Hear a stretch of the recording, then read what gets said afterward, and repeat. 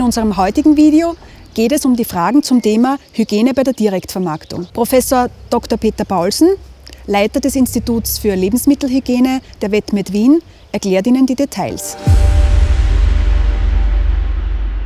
Die Lebensmittelhygiene-Direktvermarktungsverordnung gibt äh, die Möglichkeit, regional kleine Mengen bestimmter Lebensmittel direkt an den Konsumenten oder an den sogenannten Letztverkäufer weiterzugeben. Das ist unter anderem auch Wildfleisch, nicht nur, aber unter anderem. Und es ermöglicht sozusagen gewisse Vereinfachungen für einen begrenzten Konsumentenkreis bei möglichst schneller Abgabe an den Verbraucher. Die gute Hygienepraxis ist ein sehr weit gespannter Begriff. Vereinfacht gesagt geht es darum, in der Praxis alles das zu tun, was ein gesundes, nahrhaftes und wohlschmeckendes Lebensmittel zum Resultat hat.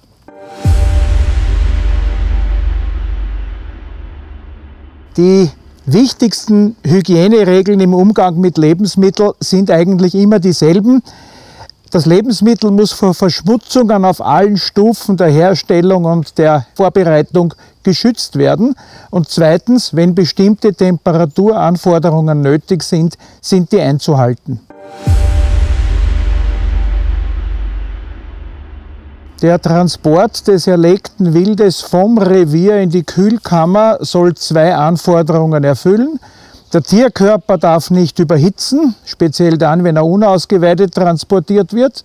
Und das Zweite, der Tierkörper darf nicht verschmutzt werden, speziell wenn er ausgeweidet transportiert wird.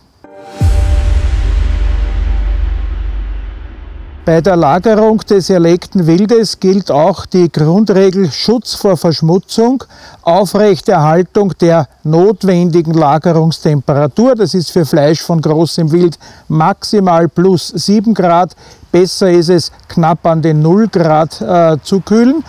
Zusätzlich kommt noch der Schutz vor Fremdgerüchen was bei unzweckmäßigen Kühlräumen der Fall sein könnte oder wenn andere Stoffe drin gelagert werden, die nicht hineingehören. Und schließlich auch die Möglichkeit, dass der Tierkörper während der Lagerung auch etwas Feuchtigkeit verliert und ein bisschen trocknen kann.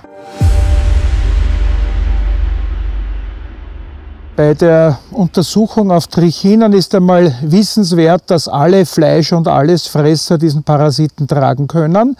Und wenn ich Fleisch von diesen Tieren weitergebe an andere Personen, ist diese Untersuchung unbedingt durchzuführen. Der Parasit sitzt in der Muskulatur, das heißt, es muss Muskulatur als Probe entnommen werden. Nun, das Wesentliche ist, es gibt hier einige Muskeln, die besonders hohe Chancen haben, den Parasiten zu tragen. Es ist in erster Linie das Zwerchfell, in zweiter Linie die Unterarmmuskulatur, die Zungenmuskulatur. Das heißt, diese Stellen werden bevorzugt als Probe genommen. Hier ist auch eine ausreichende Probenmenge zu nehmen, was gesetzlich festgelegt ist. Das Fleisch wird über ein mehrstufiges Untersuchungssystem untersucht. Wir haben eine Beurteilung des Verhaltens vor dem Erlegen durch den Jäger, die Jägerin. Wir haben eine Beurteilung des Tierkörpers und der inneren Organe anlässlich des Ausweidens durch eine geschulte Person aus der Jägerschaft, eine sogenannte kundige Person. Und wenn beides unauffällig ist, dann besteht die Möglichkeit, mit diesem Stück in die Direktvermarktung zu gehen und der Konsument kann das unbesorgt äh, verzehren, zubereiten und verzehren. Es besteht aber auch die Möglichkeit, es an den Wildbret-Großhandel weiterzugeben, wo hier als dritte Stufe eine tierärztliche Untersuchung stattfindet.